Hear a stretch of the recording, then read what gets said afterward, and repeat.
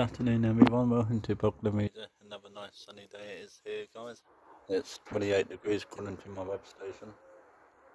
Let you know I'm going out paddleboarding again this afternoon. Let you know. So um, yeah, I'll be out paddleboarding again this afternoon to make the most of the heat wave. It, Monday today of course, tomorrow Tuesday and then Wednesday. Wednesday the last day of the heat wave. By Wednesday meant to 30 degrees.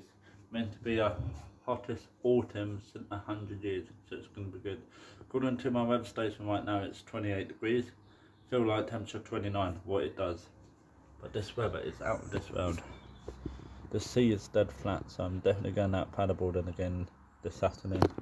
Can't wait, guys. But of course, I'll be bringing you a lot of content and that. It's going to be good. Got my wetsuit up, drying. So um, we're going out in a bit.